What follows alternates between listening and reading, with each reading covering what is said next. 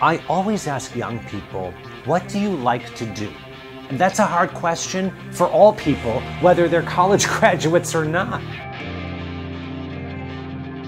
You ask any two really, really smart people, they're not going to be aligned on where the industries are going to go and where technology is going to go. It's anybody's guess.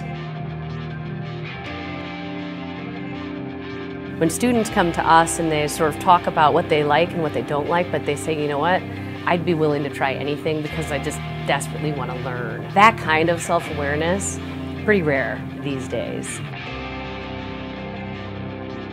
It's so important to be resourceful and creative because the competition is just extremely high. You have to kind of find those fresh and new angles, you know, of how to approach getting yourself in the door.